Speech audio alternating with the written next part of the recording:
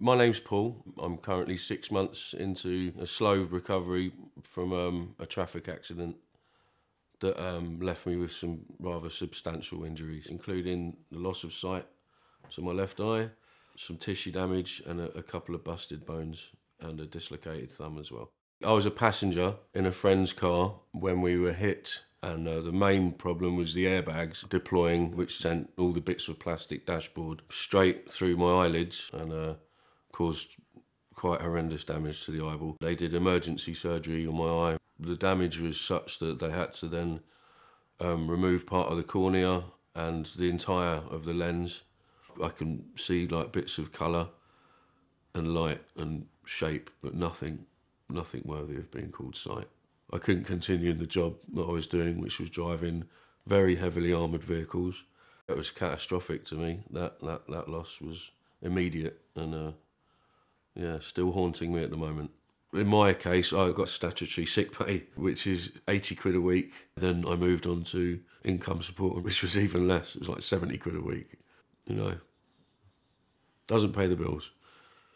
So all my savings sort of got drained away, and um, having to rely on family for financial support is by far the worst. Was the worst thing for me. Should not have to do it. It's been a colossal hit on my wages, um, sort of, you know, obviously, and um, it's had a detrimental effect on my mental health long term. Very depressing. I think it's part of human nature to, you know, to think, oh God, why, you know, why is this happening to me? It's that that causes depression, because you feel targeted, you feel sort of like the whole world's against you.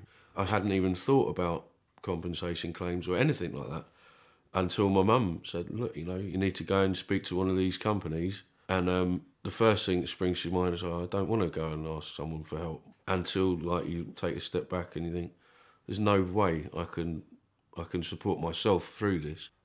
The system needs reform, absolutely it does, but you know the priority should be for non-fault victims. Absolutely should be top of the list and they should be looked after much better than they are. With me, I've a long recovery ahead and at least another two surgeries to try and correct and, and regain some vision, which is unlikely, but it's worth a try. And um, financially, that looks like that's going to be going on for another two years. So, a very long road still to go.